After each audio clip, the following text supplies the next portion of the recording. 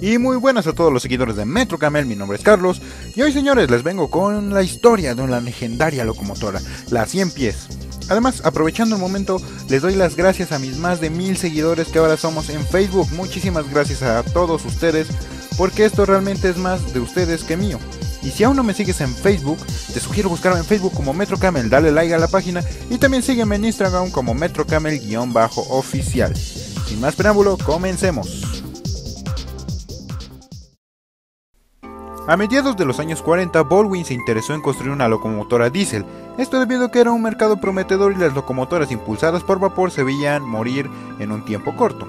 Así que diseñaron una locomotora que hasta hoy en día es uno de los diseños más particulares, la famosa DR-12 raya 8 raya 1500 diagonal 2. Este nombre se origina por ciertas cualidades. La letra D hace referencia a diésel, que era el principal combustible de esta máquina. R hace referencia a road, que se puede traducir como camino o carretera. Esto debido a que la locomotora estaba pensada en sí como una locomotora de camino y no como una patiera. El número 12 hace referencia al número de ejes totales que tendría. El número 8 hace referencia a los ejes de tracción o motrices con los que contaría. Y el 1500 diagonal 2 hace referencia a que contaba con dos motores. Sí señores, dos motores en una misma máquina. Cada uno de 1500 caballos de potencia dando como resultado 3000. Lo que sí es de destacar es que en el nombre no se mencionan muchas veces el 1500 diagonal 2 y se prefiere omitir por 3000, que era la potencia total de la locomotora. La estructura de esta locomotora es un tanto curiosa, así que intentaré explicarlo de la mejor manera posible. Baldwin pensó en integrar dos bastidores para poder soportar la larga estructura principal de la locomotora. Estos estarían conectados entre ellos tal y como lo hacían las grandes locomotoras a vapor con el tender. Justo el motor estaría bajo las ruedas de tracción, lugar donde se conectaría el bastidor a una estructura para centrar las curvas desde allí. Además, contaría con dos ejes en el frente que tomarían la función de ejes de carretilla que usaban las locomotoras de vapor para poder guiar las ruedas en las curvas. Estos ejes también se integrarían en la parte trasera para maniobras en reversa. El resultado, una máquina con tantos ejes que se le terminó por apodar Centipede, lo que se puede traducir al español como 100 pies. Es de destacar en la carrocería del frente el diseño de los parabrisas con el de la nariz. Este fue usado en diversos modelos de Baldwin y fue apodado como Babyface o cara de bebé. Esto debido a que contaba con una gran visión en los parabrisas que eran muchísimo más grandes, además de que proveía mejor vista para las tripulaciones que operaban estas locomotoras. Tristemente este diseño era considerado una copia barata del diseño de locomotoras de Electromotor. Al final la locomotora contó con cifras muy extrañas un total de 3.000 caballos de potencia, 269 toneladas de peso, lo que la convertía en una locomotora terriblemente pesada. Una longitud total de 27 metros de nariz a cola, lo que la terminó por convertir como una locomotora muy, muy, muy larga. Y, originado por los dos motores y el peso extremo, esta máquina arrojó una cifra impresionante de 205 mil libras en arranque, lo que se puede traducir que por más carros que le pusieras a esta locomotora, los iba a jalar sin ningún problema y no le iba a costar tomar velocidad. Baldwin afirmaba que esto era muy importante y era también posible en las pendientes, que por muy empinadas que fueran, a la locomotora no le iba a tomar ningún esfuerzo el hacerlo. Es un tanto impresionante porque como dato curioso, esta locomotora auspicia hasta el día de hoy el récord de mayor potencia en libras en arranque, algo que es muy, muy, muy interesante.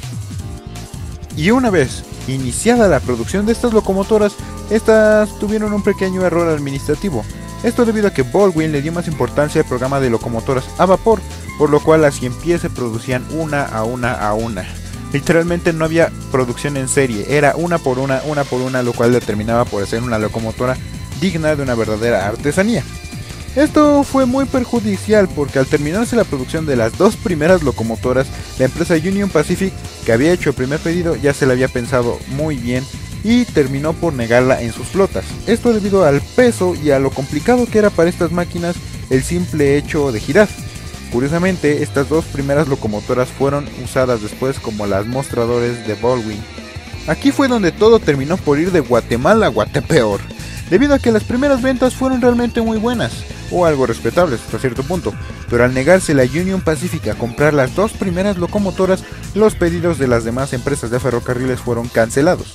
Los ferrocarriles que compraron estas locomotoras fueron el Pennsylvania Railroad, el Seaboard Island Railroad, Y estas dos empresas en sí lo compraron más debido a que eran muy leales a los productos de Baldwin, no realmente porque les interesara mucho la máquina como tal. A esta lista de empresas se suma solamente una, el Ferrocarril Nacional de México con 14 unidades compradas. Así es que, al terminar la producción, solo fueron construidas 54 locomotoras, lo que yo llamo un verdadero y rotundo fracaso, debido a que no es nada comparado con los millones vendidos de Electromotive por sus modelos E y F. Además de que como dato curioso, actualmente no se conserva ningún ejemplar de este tipo de locomotoras y es de muy bien entender debido a que era demasiado difícil mantener estas locomotoras incluso en sus años operativos. Pero bueno, ahora centrémonos un poco más en el desempeño que estas máquinas tuvieron. En el Pennsylvania fueron acopladas casi permanentemente en mancuernas y eran ocupadas rara vez para ayudar a trenes pesados a cruzar zonas montañosas. Eh, realmente las libras de arranque le ayudaban mucho, pero tal vez era el único punto bueno que estas máquinas tenían. El personal de mantenimiento afirmaba que era terrible conseguir refacciones para esta maquinaria, principalmente porque se producieron una por una y una por una, y no en serie, además de que reportaban muchas fallas frecuentemente. En Seaboard, esta se consideró un lujo innecesario por la empresa, por lo que después de trabajar un tiempo eh, fueron simplemente desechadas. No encontraron un comprador, nadie interesado y simplemente fueron desechadas. Y en México, Metro Camel se dio la tarea de encontrar gente que trabajó con estas locomotoras. Muchos de ellos afirmaban que estas locomotoras hacían más ruido que un trabajo realmente. Además de que el personal de mantenimiento las odiaba debido a que hacían un terrible desgaste en los rieles por el peso, Además de que reportaban muchísimas fallas de vez en cuando. Algo muy terrible para esta máquina. Y bueno, eso ha sido todo por mi parte. Mi nombre es Carlos y te recuerdo que me debes de seguir. Me debes, me debes, es tu obligación. Ya has visto el video y tienes que seguirme en Facebook como Metro Camel y también sígueme en Instagram. En Instagram síganme, por Dios, no me sigue nadie. Búsquenme como Metro Camel-oficial. Suscríbete a este canal, deja tu like y si te gusta este tipo de contenido comenta un poco más, interactúa y puedes así tal vez elegir la próxima locomotora para el próximo video.